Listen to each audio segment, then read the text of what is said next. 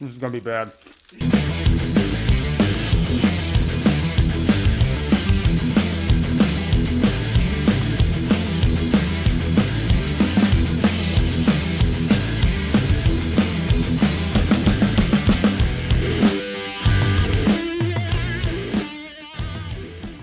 Welcome to Josh's Hot Takes, the show where I torture myself for your enjoyment and I talk about a movie. Today I'm going to be talking about Magic Mike, but we all know why you're really here.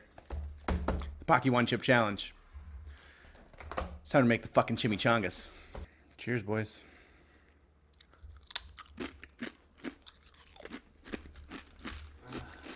This is going to be bad. So it's not quite hot yet. It's heating up.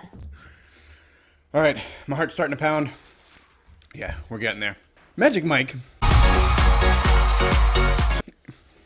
is a movie about Ch- Channing Tatum. There's the hiccups. Living in Tampa, Tampa Bay. Dear God. Whoa. He he works a side job or a day job as a construction worker, and he meets the kid from Alex Rider Stormbreaker. It's a touching moment. He invites the kid to, to promo for him for a uh, strip strip show. Eventually, Kevin Nash, yes, the Kevin Nash, gets too drunk or high or sleepy to go up on stage. So the kid has to go up on stage. Ha. Oh. Kid goes up on stage and, in what they call his saggy ass draws, gives a hell of a show. And they decide he's the future of stripping in Tampa Bay. I hate myself. If I didn't have to give this review, it wouldn't be so bad. So that was a fucking lie. Kid goes up on stage. Turns out he likes stripping. Imagine that. A movie about stripping where somebody likes to strip. Nobody saw it coming. Oh, sponsor me, Diet Coke. I'm doing this for you. So he joins the team, um, which includes Kevin Nash, Channing Tatum, that one guy from CSI Miami, and Matt Bomer. Why did I do this? This is how much I love you. Ha! It really burns the back of the tongue more than anything. Makes it really difficult to oh, take a good breath. It's not the chip, it's just this movie really gets me worked up. Mm. Drugs get involved. Drugs. No. Uh, because it turns out, just like in the bar industry, drugs are everywhere. And the kid likes Molly, I think. Uh, so he likes Molly enough that Gabriel Iglesias decides they need to sell it together. This is not a joke. This is terrifying. So he goes in on what they call a full pack, which Fuck if I know. the kid says it's 100 pills. Turns out it's a 1,000, and they leave them at a sorority house because kid's a dumbass. This is bad. So they lose a bunch of drugs, and uh, the kid's been staying with Channing Tatum for quite some time now. And uh, he leaves, and Channing Tatum's house is raided by Gabriel Iglesias and two kind of fit guys. I don't know. It was a little unbelievable. I feel like Channing Tatum could have either beat them up or won a dance battle against the two of them. Either way, it would have been great.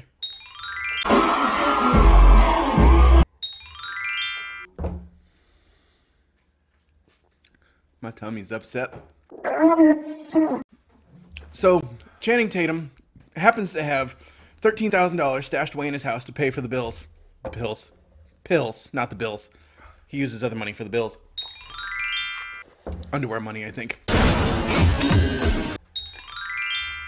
Uh, so he pays off the drug dealers, falls in love with the kid's sister. Oh, I forgot about that. The kid has a sister. And he's also in love with Olivia Munn. I don't know. There's a whole thing. Uh, I'm just not in my right mind right now. You understand. While I'm recovering, remember to like, subscribe, and hit that bell notification. All right. So the kid thinks he's hot shit. Matthew McConaughey also thinks he's hot shit. Nobody else thinks he's hot shit because he's not hot shit. I'm saying hot shit a lot. Oh, Oh, my belly. There's a fire in my belly.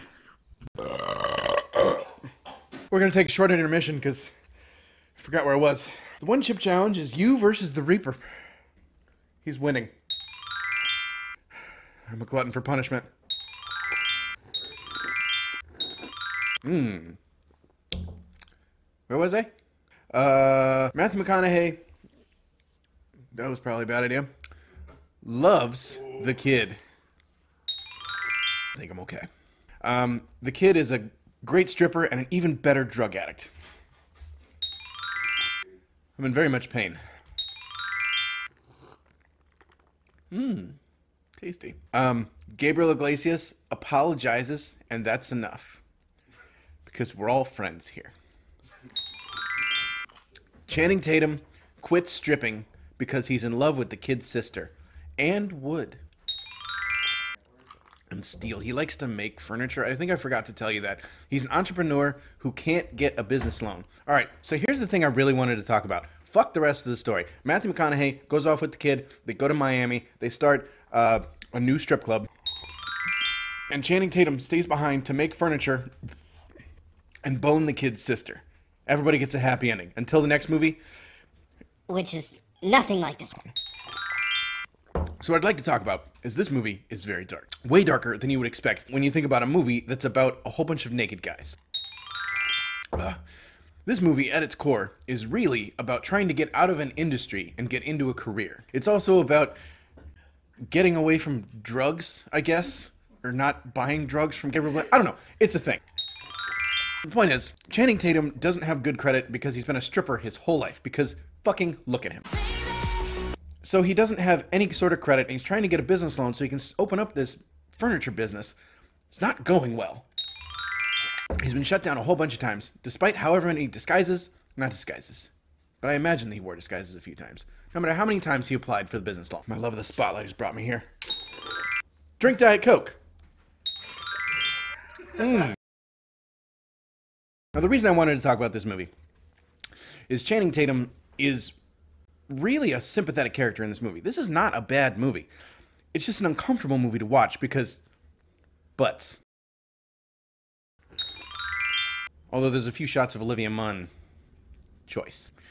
Now, as uncomfortable as the stripping scenes in this movie might be for, I don't know, a lot of people, this movie tells a much grander story than just that of a stripper trying to get out of stripping. Josh wants to be a stripper, he just doesn't have the body. I'm just too chunky to be a stripper and not fast enough to sell drugs. None of that made sense. For anyone who's ever worked an industry job and felt the thrill of the hustle, but also wanted something a little more steady, this is the perfect film for you. I'm not saying watch it more than once. I'm just saying this movie's kind of about you. If you're an industry worker and you're trying to establish yourself in a career or pay for school or you've just struggled in the hustle, this movie's going to speak to you in a way that you might not expect it to.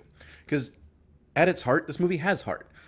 It talks about guys that love what they do, and it talks about someone who uses the industry as a stepping stone to get where he really wants to be. He's a creative person who wants to start a creative business, and stripping is just a means to an end. Everybody's been fucked over by a boss, just like Channing Tatum in this movie. Everybody's been passed over for a promotion, just like Channing Tatum in this movie. Everybody's made friends that burned them, just like Channing Tatum in this movie. Yet he keeps going, he keeps persevering, and he never loses sight of his dreams. And if there's one thing my flaming tongue can tell you before I finish, it's that I'm dying. And also, don't lose sight of your dreams or your Diet Coke. That said, this has been Josh's hot take. I need something. Say goodbye.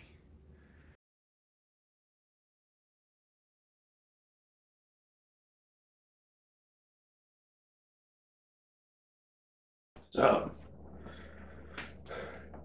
Nothing. What movie are you doing? Magic Mike. Why are you so sweaty? Movie makes me hot. Later.